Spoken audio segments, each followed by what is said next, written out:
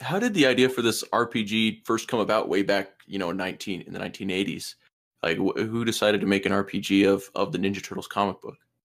Well, that, that would be me. I, I was a big comic book guy, and uh uh, you know, I had heard about turtles. I, you know, I, I, I couldn't get issue number one; it was so hard to get. And uh, I was thrilled when I, I snagged a copy of issue number two, and I read it. And I turned to my wife and I said, "Oh my gosh, this would make a, a great role playing game, especially if we could make it so that you could create any kind of mutant animal you you could ever imagine."